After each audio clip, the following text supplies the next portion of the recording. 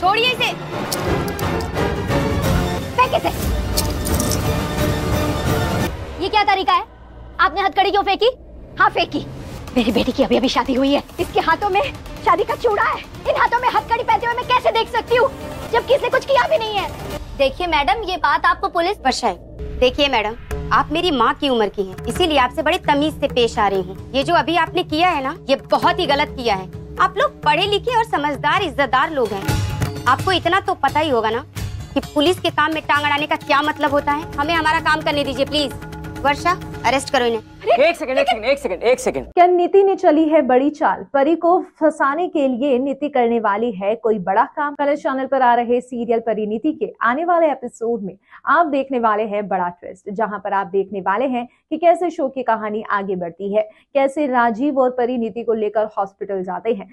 आप बताएँगे की आप इन्हें अरेस्ट कर क्यों रही है?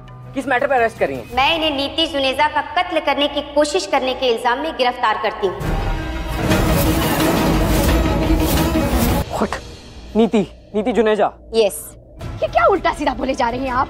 और कैसे परी जो है नीति से बताती है कि मैं जानती हूँ कि जो तेरा बचपना है तेरे अंदर और जो तेरा जिद्दीपन है ये मुझे पता है। जो तुझे चाहिए वो तुझे चाहिए। राजीव परी को फिर से समझाता है कि जब नीति को पता लगेगा कि हम दोनों की शादी हो चुकी है तो वो इससे भी दुगना बवाल करती हुई दिखाई देगी।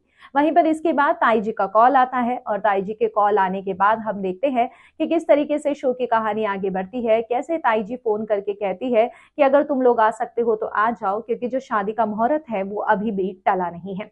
राजीव और परी घर पर जाते हैं, परी का भी इंतज़ार किया जाता है, परी एक बार फिर से दुल्हन बनकर आती है। आने वाले एपिसोड में, जहाँ पर परी और राजीव की वरमाला चल रही होती है तो दूसरी तरफ़ से पुलिस की गाड़ी आ रही होती है। पुलिस वाले आ जाते हैं और परी को हथकड़ी पहना देते हैं पुरी को गिरफ़्तार कर लेते हैं और परी को गिरफ़्तार करने के बाद ये कहते हैं कि तुम्हें नीति के मरने के इल्ज़ाम में, मारने के इल्ज़ाम में गिरफ़्तार किया जा रहा है। अब ऐसे में जो परी है, वो शौक हो चुकी है, क्योंकि परी और नीति का बॉन्ड बहुत अच्छा था।